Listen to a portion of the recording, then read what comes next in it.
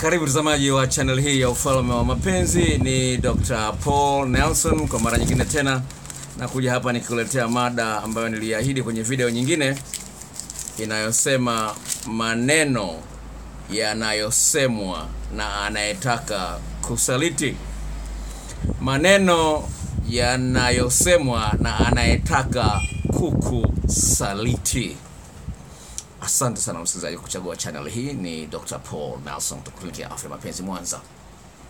Nakuletea mada hii baada ya kufuatilia kesi mbalimbali za kimahusiano na kuangalia kwenye data zangu, naona kwamba kuna maneno ambayo kikuta yanarudiwa mara kwa mara, tambua mpenzi wako ana dalili ya kutaka kuanza kusaliti au tayari kwenye mchepuko ambao uko kwenye siku zile za ugeni ugeni. Hii inakuwa sambamba na maneno ya Bwana wetu Yesu Kristo. Kwa hiyo chunga sana maneno ambayo mtu anayasema, ili uweze kufahamu mambo ambayo yanaweza akasababisha mtu aweze kusaliti au vipi. Chunga sana maneno ambayo mtu anayasema, kwa sababu hata Bwana Yesu amelifundisha hilo kwenye kitabu cha Mathayo 12 mstari wa 36 34 hadi wa 35 nitasoma haya maneno. Kama upende Biblia ndugu yangu, basi kama unamchukia Mungu, basi samahani sana, lakini naomba nikusomee neno la Mungu kama lilivyoandikwa katika kitabu cha Injili ya Yohana sura ya 12 mstari wa 34 na 35. Misali michache tu inasema hivi: Enyi wazao wa nyoka, mwawezaje kunena mema mkiwa wabaya? Maana kinywa cha mtu huyanena ya ujazayo moyo wake.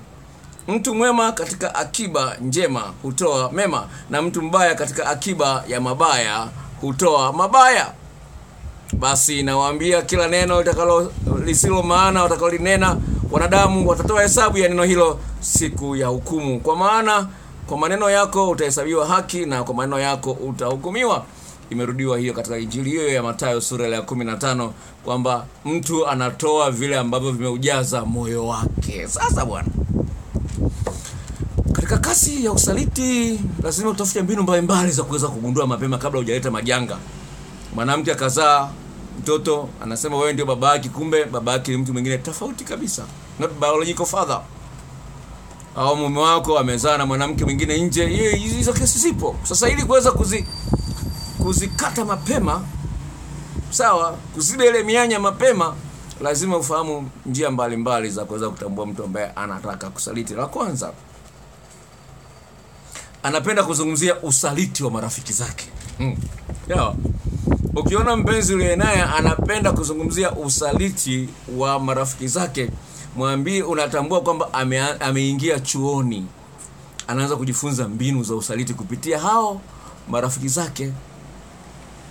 Kwenye Kiingereza, kwenye Biblia kuna msemo unasema hivi, bad company spoil good character. Nasema ukiwa na marafiki wabaya itaharibu tabia yako. Kwa hiyo yuko kwenye chuo cha usaliti na ameanza kuona kwamba kuna utamu katika kusaliti. Kwa hiyo anaanza kusimulia habari za marafiki zake, ajionyeshe yeye ni mtakatifu sana kuliko marafiki zake. Kama akiona majibu yako unayotoa au jinsi gani una support story zake, jinsi gani unafurahia story zake, akiona vipi hana uhakika sana, atakuuliza swali mara moja kwa moja, anakwambia hivi, ukigundua nimekusaliti utafanya nini? ukigundua nimekusaliti utafanyaje? Haya, ukiliona hilo, fungua macho uone. Haya, neno lingine ambalo linasemwa na mtu ambaye anaanza kusaliti au anafikiria kusaliti, bize bize bize bize, mtu ambaye alikuzoeza kuongea na wewe mara kwa mara, kuchati na wewe mara kwa mara, anapoanza kutumia neno bize, niko bize mara kwa mara, tambua anakomboa wakati ili aweze kumhudumia mchepuko. Anaweza akachati na mchepuko kwa muda mrefu, lakini kuchati na wewe hawezi. Anaweza kaongea na mchepuko kwa muda mrefu, lakini kuchati na wewe hawezi. Imeshatokea kesi kama hiyo, nimeshaitoa hapa story moja, lakini nipe story moja. Dada mmoja ambaye alikuwa haamini kama sasa mume wake anaweza kumchepuka, alikuwa haamini. Rafiki yake wa karibu, hawaishi mbali sana, akabeba na mume wako ananitongoza ile nataka akamwambia hapana, haya mume wangu, ah, bwana asifiwe nyingi sana, haiwezekani mume wangu, wala haiko alikusumbua mume wangu, hawezi. Siku moja akamwambia bwana, mume wako amepitia kwangu hapa saa tatu za usiku, amepitia kwangu hapa, njoo. Ah, Mwanamke akagoma, hakwenda. Sawa bwana.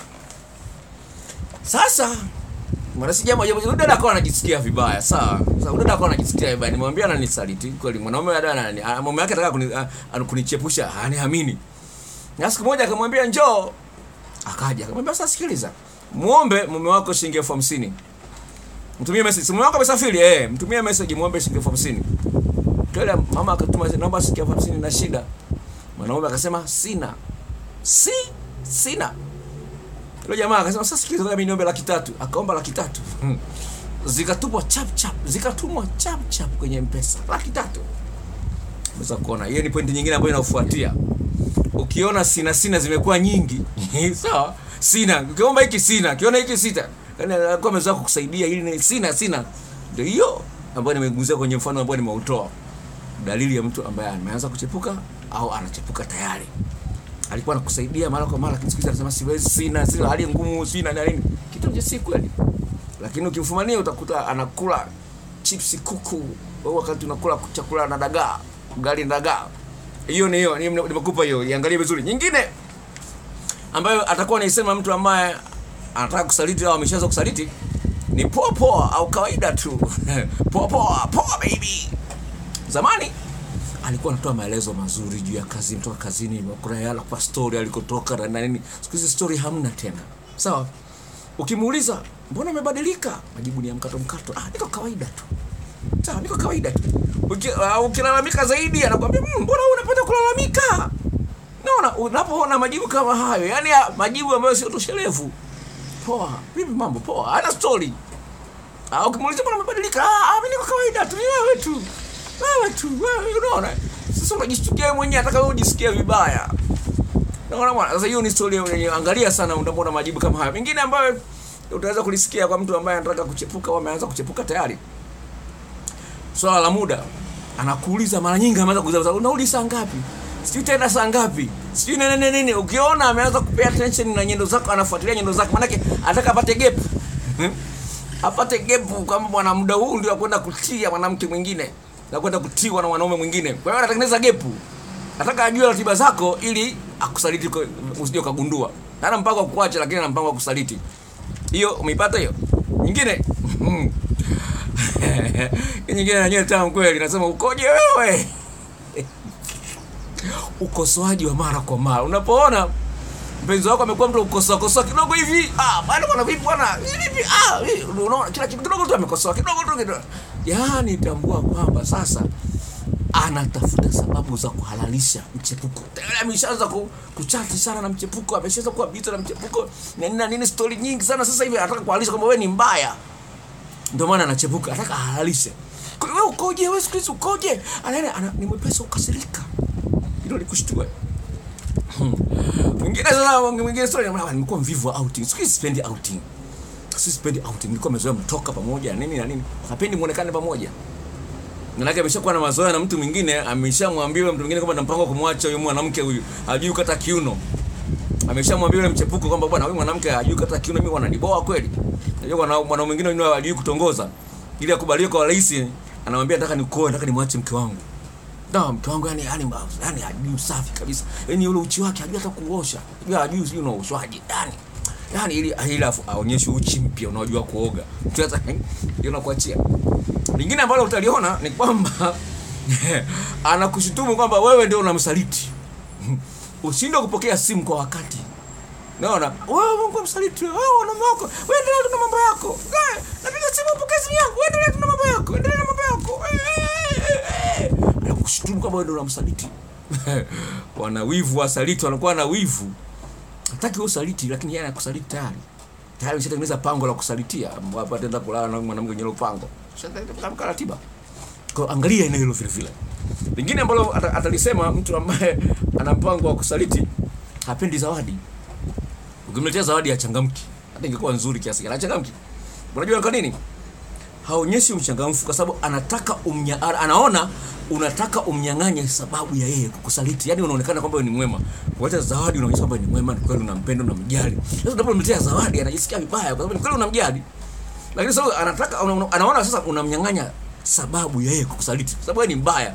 Mbaya huwa haletaki zawadi. Sasa inakuwaje wewe unaleta zawadi? Mbaya wanataki zawadi sasa ni mbaya tayari kwenye akili yake ushaka mbaya ushaambia mwanamke kule ni mbaya kwa hiyo unapokuja mambo mazuri hayaoni ndio ile inachanganyikana na ile nyingine anakosoa kosoa sana Unaona? Anaukosoa kosoa sana. Inachanganyikana na ile nyingine story nyingine, sawa? Kwa hiyo unaweza kuona hata kizawadi Usikifanyia jambo zuri kwake anaona sio zuri. Au tu tuna kubeza, Umefanya jambo zuri lakini unabezwa. Umependeza lakini unaambiwa ah, umevaa kama uniform za shule ya kagunguli.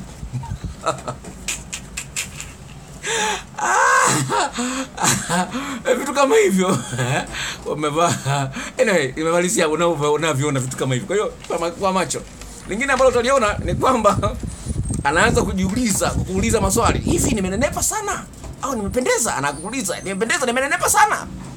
Angalia swali ambapo kwa design kama hiyo, sawa. Anaona humpendi, humsifii, wakati huko nje anasifiwa, sawa. Sasa anatafuta sababu ya kukaralisha, wewe wewe usinisifii, wewe usinisifii, wewe unaniona mimi mtamu, wewe na mimi sio mtamu, wewe unaniona mtamu. Ndio anakuambia basi unipendi, ili analisha Ndio nimenenepa bwana, kasema nimenenepa kumbe ndo ah, kumbe nimenepa. Ah, wenzio wanaona na hips. Wenzio wanaona na makalio ya ya matikiti maji. Asa wewe hiyo dalili. Nimependeza au ni mwanaume na mwanamke? Kachocho na maswali kama hayo. Sasa nyingine of course ni rahisi kulielewa of course. Anataja na majina ya watu wa jinsia tofauti na ya kwake ovyo ovyo. Unapoanza majina yanazungumzwa yanatajwa tajwa mara kwa mara, wengine hata kwenye ndoto. Au mnafanya sex, anafika kileleni, nasikia Aisha, ah baby, kumbe mume wake anaitwa mke wake anaitwa an, an, an, Anet. Aisha! Amechanganya kati ya Anet na Aisha kwa sababu zote zinaanzia A. Shtuara, oh tao bwana, wewe ulimi unateleza bwana, unajua ulimi unateleza bwana, story kama hizo. Mhm, upo pale. Kingine kingine ambayo ni ngumu, usinifuatilie bwana, usi maisha yangu. Usinifuatilie. Hapo ah, amefika mbali sana. Sawa. Hiyo inaambatana na hiyo. Inayofuatana na hiyo. Sawa. Hataki ushike simu yake. Sawa. Hataki utumie simu yake. Hata simu yake imezima. Akupi simu yake utumie.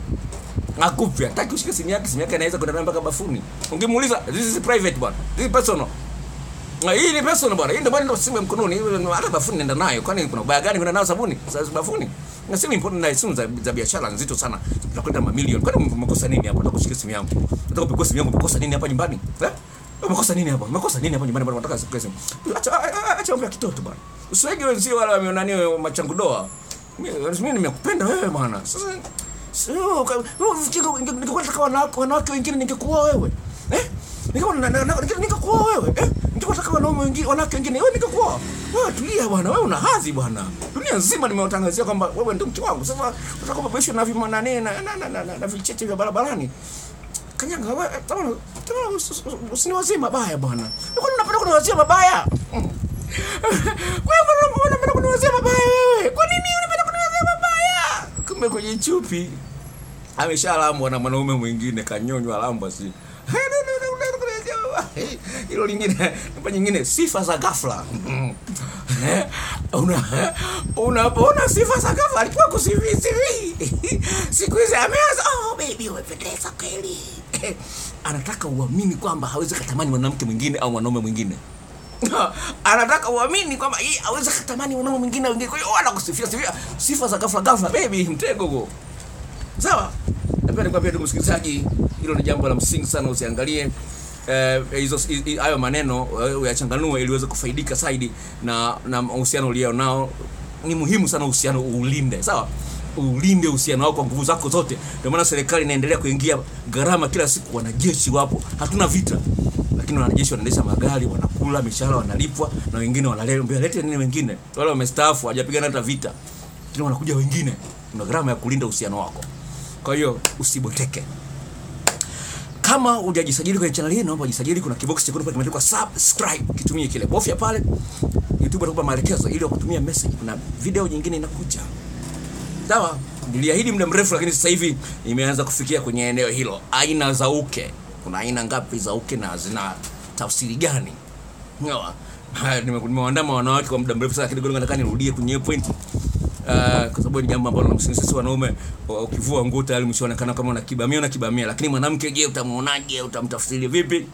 Hiyo ni mada nyingine ambayo inakuja. Kama kama hujajisajili, napenda nikwambie hivi, hazipiti siku nne hiyo video ya aina za uke utaiona hapa kwa wale ambao unaangalia kwa mara ya kwanza ndio umejisajili sawa nashukuru sana ninafurahi sana kwa sababu kadri ninavyojisajili ndio napata taarifa kwamba watu wanapendelea ninachokitoa hapa kwa hiyo inanitia moyo kuendelea kutafuta material zaidi na mada nyingi nyingi, kona mbalimbali za mahusiano niweke sawa na nini na nini na ili ujifunze kitu ambacho kitakusaidia. Achana na na na, na, na, na ma, ma channel ambayo yanakupa mambo ya kujamba jamba, sio nani kajamba, sio nani kajamba. Achana nayo ma channel, usipoteze MB zako kwa vitu ambavyo havina havikujengei maisha yako hata ya mbeleni.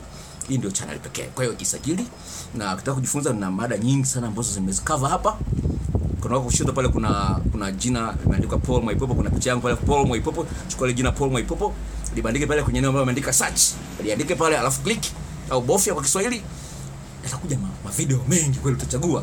Mwanamke mtamu yukoje, dalili za mpenzi anayekusaliti yukoje, mwanamke mpana huko mwembamba ukoje, je, mwanamke wa ukweli ukoje, mwanaume wa ukweli ukoje vitu kama hivyo. Kuna vitu vingi sana nikienda kuzungumzia hapa uta- utaanza kusinzia, lakini kwa jina la Baba na Mwana na Roho Mtakatifu nakutakia furaha tele katika mahusiano yako yote.